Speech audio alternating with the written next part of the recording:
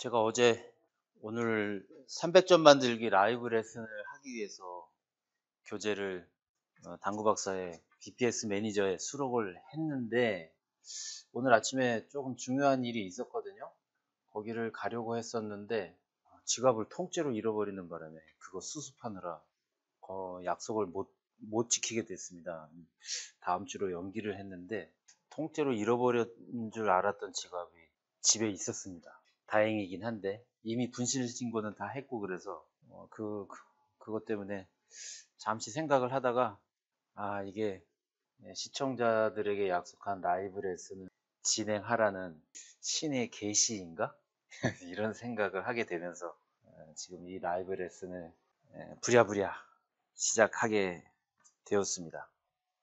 처음에는 뭐 자세 300점이라고 하면 갖추어야 될 것이 무엇들이 있느냐 이론 좀 알고 자세도 좋아야 되고 어, 실력도 있어야 되고 그래서 두 번째는 두 번째 시간에는 밀어치기였죠.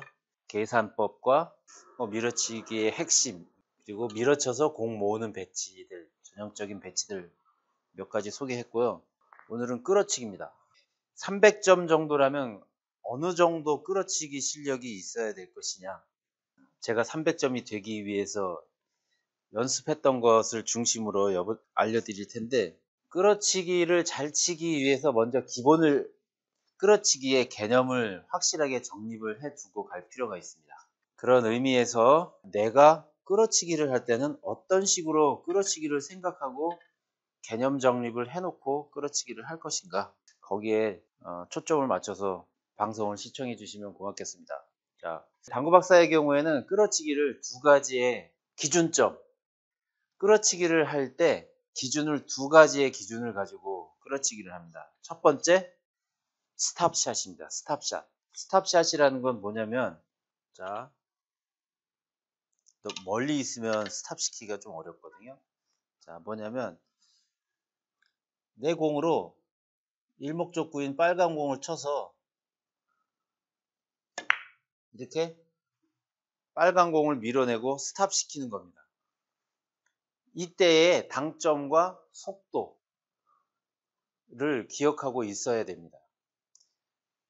예를 들어서 조금 전에 조금 전에 이 정도 거리에 거리에 있었을 때는 거리가 가깝기 때문에 중심보다 당점은 중심보다 미세하게 아래 1, 2mm 정도 아래 신공의 중심점보다 1, 2mm 정도 아래를 세게 치지 않아도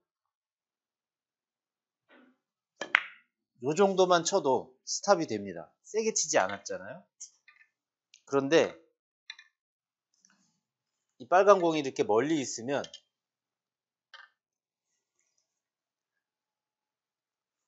가까이 있을 때보다는 당점을 더 내려야 되겠죠. 스탑을 시키기 위해서. 그리고 스탑이 되기 위해서 두께는 얼마여야 되나요? 빨간 공의 정면을 쳐야지 스탑이 되는 겁니다. 음, 두께는 100%, 당점은 아까보다는 조금 더 내려가야 되겠죠. 여기에 이 당구대 위에는 6시 방향 2팁 정도라고 써 있는데 그리고 큐 스피드는 약간 빠르게 해서 저 빨간 공에 중심을 치면 스탑이 되어야 됩니다.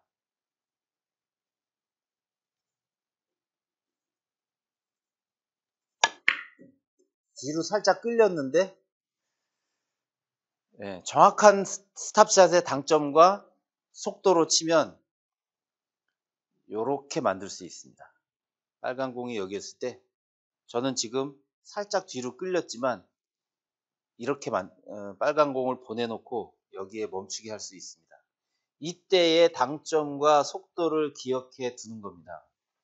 그래서 거리에 따라서 어느 정도의 당점과 속도로 쳤을 때 스탑을 시킬 수 있을까? 이것을 어, 그 당점과 속도를 기준으로 끌어치기를 하게 됩니다. 예를 들어서 이렇게 있는 끌어치기다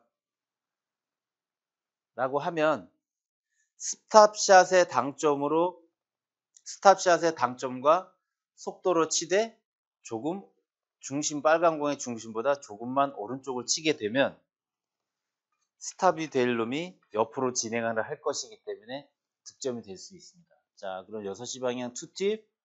그래 놓고 어, 저 빨간 공의 중심보다 조금 오른쪽을 stop이 될 때의 속도로. 이렇게 끌어치기의 기, 한 가지 기준이 되는 것이 stop shot의 연습이고 stop이 될 때의 당점, 속도, 조건이죠. stop이 되는 조건. 그것을 몸에 익혀두면 끌어치기를 할 때 어떠한 배치가 있다 하더라도 한 가지 더 예를 들어볼까요? 이렇게 있다. 이렇게 있다고 했을 때 과연 어느 정도의 당점과 속도가 필요할 것이냐? 물론 두께도 중요하겠죠? 어느 정도의 두께를 마칠, 마치고 그때 당점은 얼마나 내려야 되고 속도는 어느 정도 빠르기로 쳐야 될 것이냐? 그것을 판단하는 한 가지 첫 번째 기준이 스탑샷의 당점. 스탑샷의 당점과 속도로 조금 오른쪽을 친다면 내 공은 이렇게 가겠죠. 그러니까 두께를 조금 더 얇게 치거나 아니면 당점을 내 공의 당점을 조금 더 위로 올리거나 아니면 큐 스피드를 조금 느리게 치거나 이렇게 생각할 수 있겠죠. 근데 저는 빨간 공이 이렇게 돌아서 여기로 다시 오게 그렇게 해야 다음 공이 좀 더 쉬울 것이기 때문에 그렇다면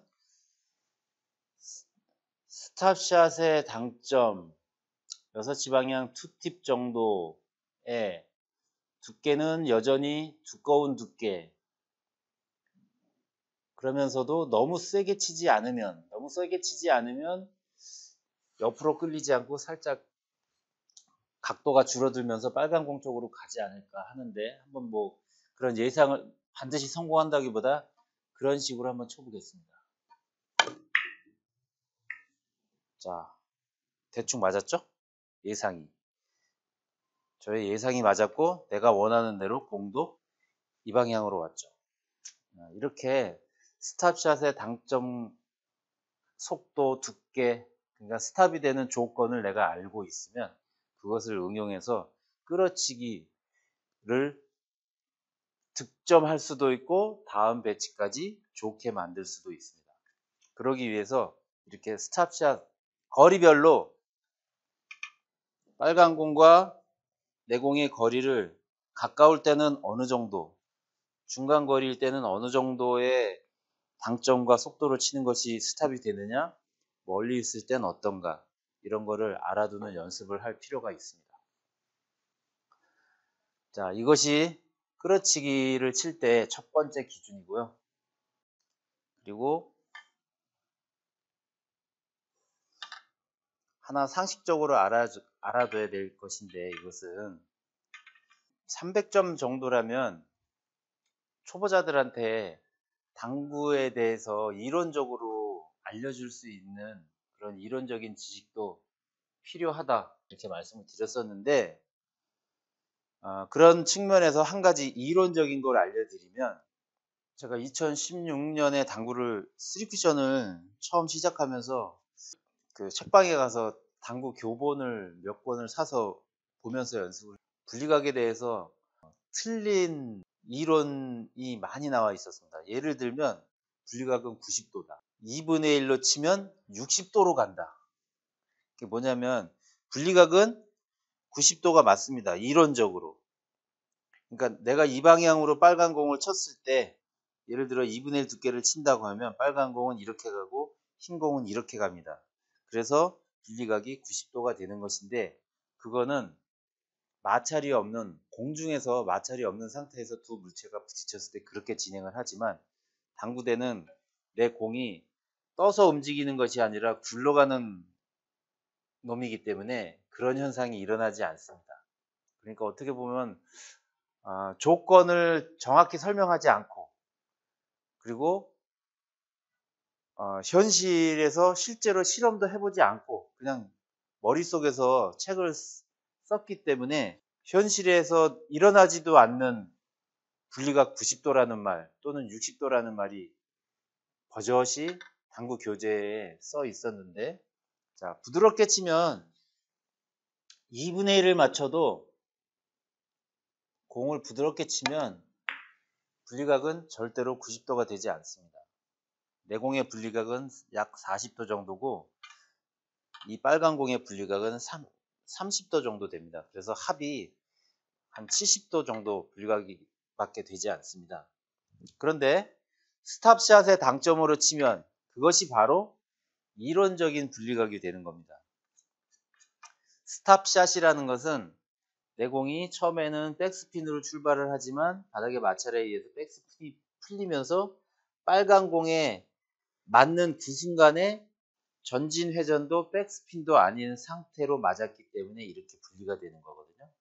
자, 그러면 스탑샷의 스탑샷을 연습해 보고 난 다음에는 그 스탑샷의 당점과 두께와 속도로 빨간 공 오른쪽 2분의 1을 치면 이론적인 분리각인 60도가 되느냐 그것을 한번 확인해 볼 필요가 있습니다. 자, 이렇게 되는 겁니다. 여기까지 스탑샷에 대해서 연습도 해보시고 어, 확인까지 해보시기 바랍니다. 자, 그 다음에는 어, 두 번째 끌어치기의 기준이 되는 것. 두 번째 기준은 뭐냐면 계산법입니다. 계산법. 끌어치기 계산법인데 지금 밀어치기 때처럼 당구대 바닥에 빨간 공을 크게 확대를 해놨고 두 번째 빨간 공 크게 확대되어 있고 내공, 흰공 크게 확대되어 있었습니다. 밀어치기의 경우에는 계산법이 이렇게 있는 것을 밀어치기로 친다고 하면 이 선과 이 선이 만나서 잘린 빨간 공의 조각의 원호의 절반 여기를 향해서 상단 당점으로 밀어친다. 그랬을 때 득점이 된다. 이것이 밀어치기의 기본적인 계산법이라고 했는데 끌어치기도 개념은 비슷합니다. 네, 끌어치기의 경우에는 이 선과 이 선이 만나서 빨간 공을 자릅니다. 이렇게 자르고 이렇게 자르면 요 조각이 있죠. 그 조각이 확대된 조각이 이 그림 바닥에 있는 그림 이것이라고 했을 때 이 원호 이 원호의 절반 지점 여기를 향해서 그러니까 공에 공에서 보면 여기겠죠. 여기를 향해서 6시 방향 3팁이라는 하단 당점 충분한 하단 당점으로 하단 당점을 빠른 속도로 끌어치기는 물리 현상에 역행하는 것이기 때문에 속도가 필요합니다. 부드럽게 치면 바닥의 마찰에 의해서 전진 회전이 생겨버리니까 백스핀을 끝까지 빨간 공에 도달할 때까지 유지시키기 위해서 속도감 있게 쳐야 됩니다. 자, 그러면 이 원호의 두 선에 의해서 나뉘어진 원호의 절반, 즉 여기인데 여기를 향해서 6시 방향 3팁을 한번 쳐보겠습니다. 공이 좀 떠 있기 때문에 실수가 있을 수도 있는데 맞는다면 다행이고 실수가 있다면 뭐 이해해 주시기 바랍니다.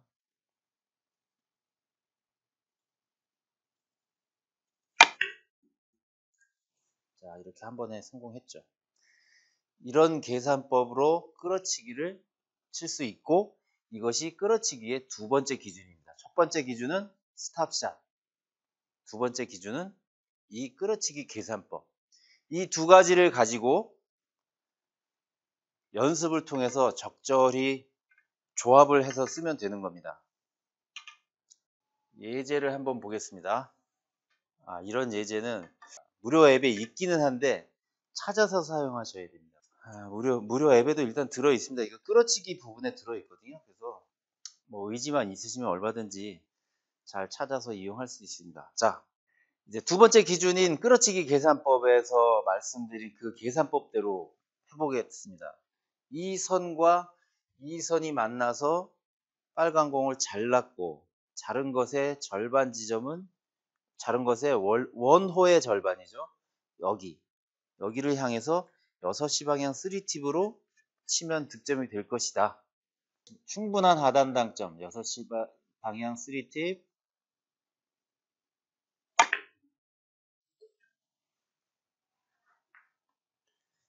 자 이렇게 쳤을 때 다음 공도 좋아지는 그런 배치를 의도적으로 만들어 온 거거든요. 그러니까 이런 것을 통해서 공도 모으고 연속 득점하는 연습도 같이 할 수 있습니다.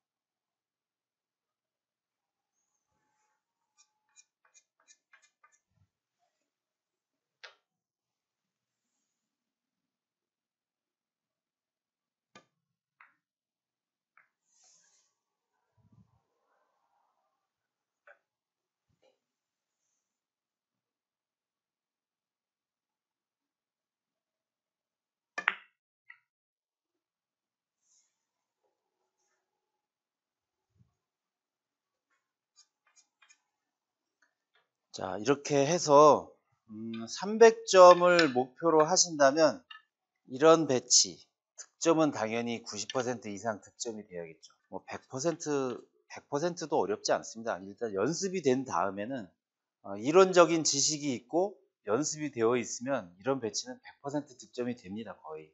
그리고 그랬을 때 자연스럽게 이 방향에서 두 공이 가까워, 가깝게 모이는 그런 배치이기 때문에 이런 상황에서는 평균 연속 득점이 한 5점 정도 나와주면 좋지 않을까. 그 이상이면 더 좋겠지만 이런 배치를 만나면 일단 300점이라면 한 5점은 친다. 네, 그런 마음가짐으로 이런 배치를 연습하면 좋겠습니다. 또 하나의 예제를 들어보겠습니다. 끌어치기를 왜 하느냐? 끌어치기를 하는 상황이라는 것은 물론 뭐 방법이 없어서 끌어쳐서 득점하는 경우도 있겠지만 대체적으로 공을 모으기 위해서 끌어치기를 하는 경우가 많습니다. 그렇기 때문에 끌어치기를 쳤는데 득점만 한다? 이건 하수입니다. 300점이 끌어쳤다? 그러면 공이 일단 모을 수 있어야 됩니다. 그래야 300점이지 끌어쳤는데 공이 안 모였다. 그건 300점이라고 좀 하기는 좀 아쉬운 부분이. 그래서 자, 이거, 이것도 하나의 끌어쳐서 공을 모을 수 있는 예, 예 중에 하나인데, 이 빨간 공을 정면, 정면으로 끌어치면 코너를 장쿠션에 맞고 이 방향으로 내려올 수 있습니다. 또는 단쿠션에 먼저 맞으면 이 방향으로 올 공입니다. 그러니까 어떻게 칠 것이냐 두께를 미세하게 조정해서 장 쿠션에 먼저 맞힐 것이냐 단 쿠션에 먼저 맞힐 것이냐. 그것을 이 배치를 두고 연습을 통해서 어떻게 쳐야 어차피 끌어치는 건 마찬가지잖아요. 어떻게 쳐야 다음 배치가 나에게 유리한가를 연습할 수 있는 예제입니다. 자 한번 쳐보겠습니다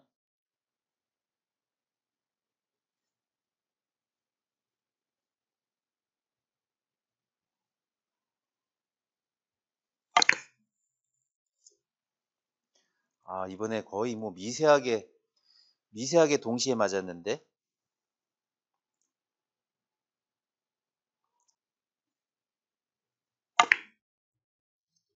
아, 이번엔 장쿠션에 확실히 먼저 맞긴 맞았는데. 음. 자, 이렇게 뭐 지금 상황은 그렇게 좋은 상황은 아니지만 자, 이렇게 이런 배치를 통해서 일목, 똑같이 끌어치기를 쳐서 득점을 한다 하더라도 일목적고를 장쿠션에 먼저 태울 것이냐 단쿠션을 먼저 맞게 할 것이냐 그런 것까지 조절할 수 있는 연습을 이 배치를 이용해서 연습할 수 있습니다. 다음 또 예제 들어보겠습니다. 이번 거는 뭐 두말할 필요가 없죠. 끌어쳐서 여기다가 모으는 것인데 아주 기본적인 연습이죠. 어, 좀 얇게 맞았네, 의외로. 거의 이거는 실패입니다, 실패. 다시 한번 해보겠습니다.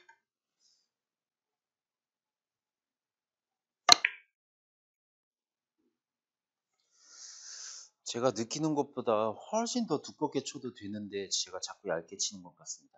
자, 이렇게 눈으로 보는 것하고 실제로 공이 맞고 진행하는 일적구의 움직임이 다를 수 있거든요. 그래서 그런 그런 것을 확인하기 위해서라도 정해진 정해진 배치를 두고 반복 연습을 해야 할 필요성이 있습니다.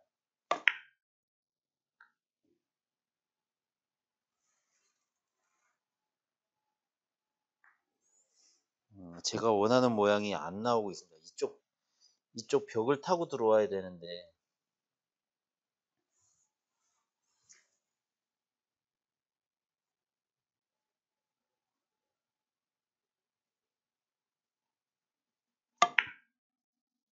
이번엔 제대로 올 것 같은데. 자 이런 식으로 맞아야 됩니다.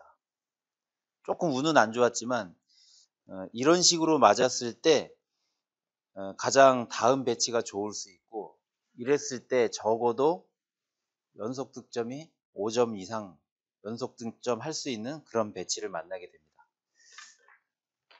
자, 당구장 가서 이런 배치를 두고 한 10번, 20번 연습해 보시기 바라고요.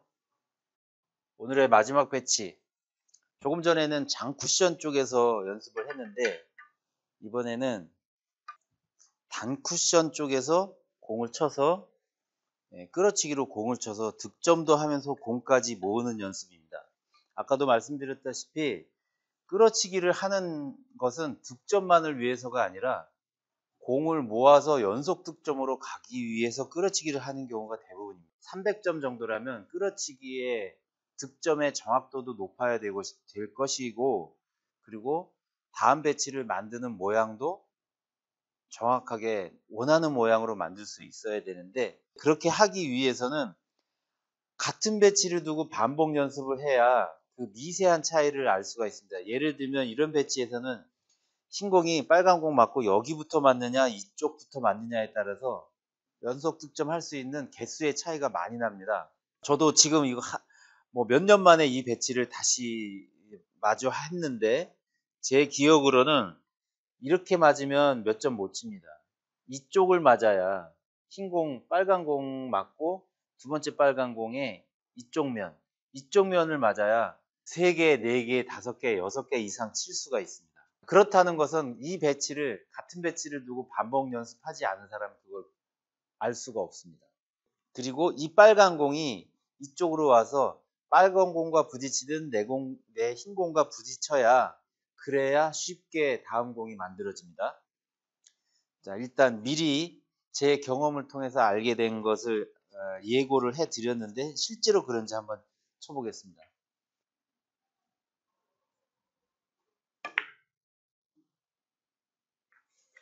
이렇게 되면 어려워 몇 개 치기 어렵다는 겁니다. 벌써 배치가 그렇죠. 일단 실패가 뭐냐? 빨간 공이 일로 와서 부딪혀 줬어야 되는데 부딪히지 못했다는 점. 그리고 흰 공이 이쪽에 맞고 여기 와서 서야 이런 상황을 만들 수 있는데 내가 가운데 끼는 바람에 어렵게 됐다는 점. 자, 다시 한번 해보겠습니다.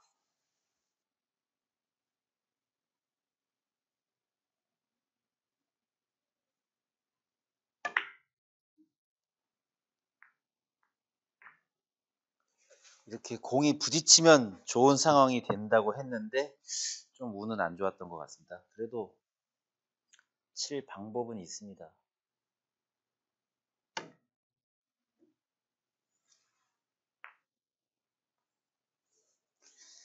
다시 한번 해보겠습니다.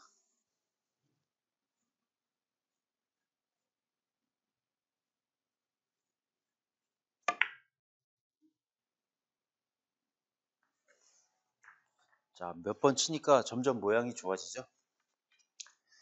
자, 이런 상황에서 연속 득점, 연속 득점의 평균이 한 5점 정도 되도록 5점 정도 되도록 연습하면 될 것 같습니다. 오늘 레슨은 이 정도로 하고요. 다음에는 끌어치기로 공 모으는 배치 몇 개 더 소개하겠습니다.